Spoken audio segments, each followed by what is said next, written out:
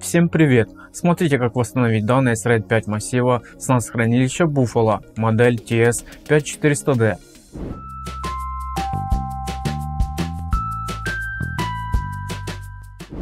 У многих компаний и пользователей на сегодняшний день есть необходимость сохранения большого количества данных, которые используются в повседневной работе. Для этого они используют NAS-системы, которые позволяют управлять и хранить этими данными. Для организации хранения данных на сетевых хранилищах, как правило, используется технология RAID, которая повышает надежность хранилища. Такое хранилище позволяет сохранять данные при выходе одного или нескольких дисков из строя, в зависимости от уровня RAID. Однако даже при использовании RAID массивов данные могут быть утеряны из-за неожиданных сбоев в системе, выхода из строя NAS или ошибок пользователя. В этом видео мы рассмотрим шаги по восстановлению данных с RAID массива пятого уровня собранного в Buffalo NAS. Данная видеоинструкция поможет вам быстро и безопасно восстановить потерянную информацию и продолжить работу в обычном режиме. Для общего понимания хранения данных на RAID массиве давайте разберем как создать его на данном сетевом хранилище. Для доступа к панели управления хранилища запустите NAS Navigator, найдите в списке устройства и откройте параметры. Правой кнопкой мыши Open Settings или откройте браузер и введите IP-адрес вашего хранилища в адресной строке. Далее перейдите в раздел «Диски», затем вкладку RAID и настройки Array 1. В открывшемся окне отметьте диски, из которых будет состоять будущий массив. Выше выберите уровень RAID и затем нажмите «Создать RAID массив». В результате будет запущен процесс построения массива.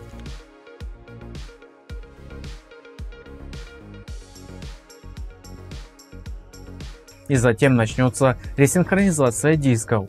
Данный процесс довольно продолжителен по времени. Все зависит от объема и скорости накопителей. Дождитесь его окончания. По завершении построения и ресинхронизации дисков можно создать сетевую папку и залить данные. Для этого перейдите к настройкам совместного доступа.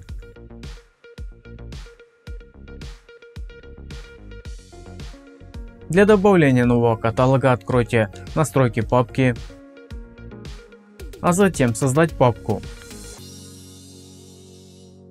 В открывшемся окне настроек общей папки нужно указать ее имя, атрибуты и добавить отметки нужных сетевых протоколов.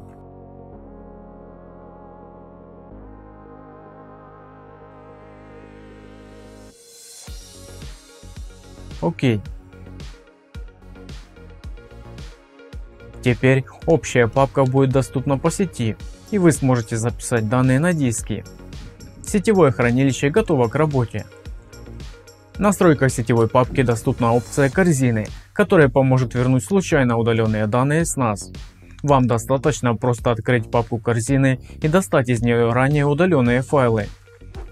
Если нужных файлов в корзине не оказалось или эта функция отключена, вернуть файлы вам поможет программа для восстановления данных. В том случае, если сетевое хранилище не работает, вы потеряли доступ к сетевому диску, RAID находится в разрушенном состоянии, вам потребуется специальная программа, чтобы достать из него важные данные. Hetman RAID Recovery заново соберет из накопителей разрушенный RAID и вы сможете вернуть из него утерянные данные.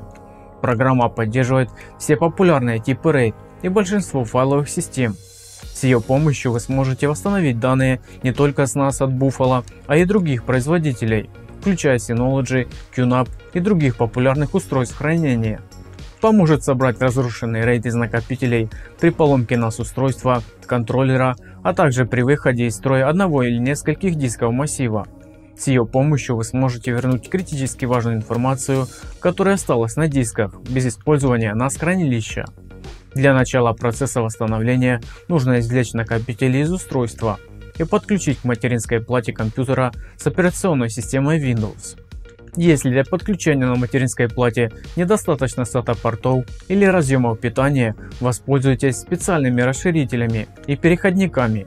Их вы сейчас видите на экране. После подключения накопителей запустите программу. Утилита в автоматическом режиме соберет из накопителей разрушенный RAID и отобразит его в главном окне программы. Внизу вы сможете посмотреть параметры собранного массива. Для поиска файлов запустите анализ диска. Кликните правой кнопкой мыши по разделу «Открыть». Здесь нужно указать тип поиска – быстрое сканирование или полный анализ. Для начала рекомендуется выполнить быстрое сканирование. В таком случае программа оперативно просканирует диски и отобразит все найденные файлы. Этот тип анализа поможет найти файлы в большинстве случаев их потери. Как видите, программа без труда нашла все файлы, которые остались на дисках массива.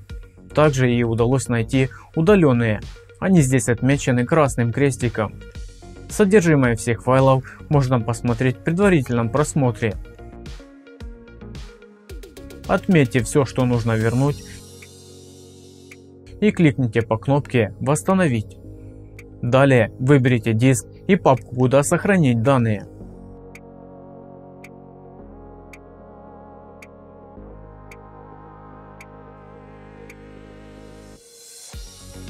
По завершении все данные будут лежать в указанном каталоге.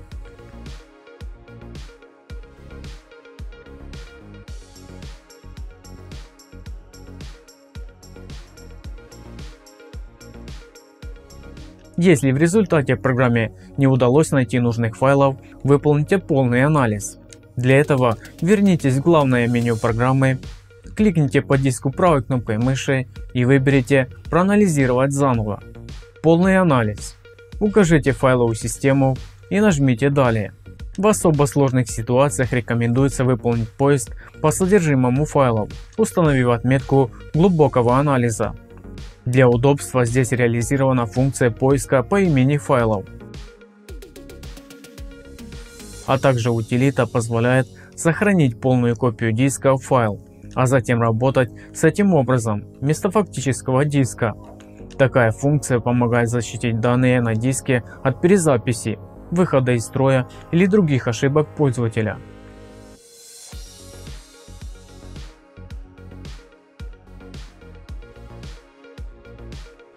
Восстановление данных с RAID 5 массива Buffalo может быть сложной задачей, но следуя инструкции и выбрав правильную программу для восстановления данных, вы сможете вернуть утерянные файлы.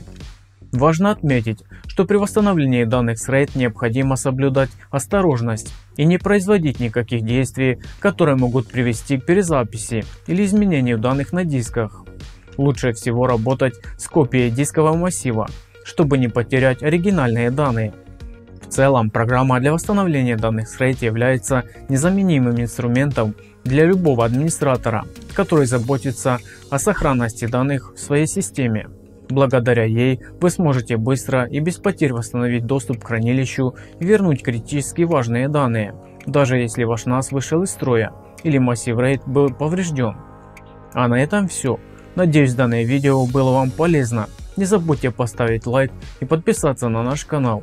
Свои вопросы задавайте в комментариях под видео. Всем спасибо за просмотр. Пока.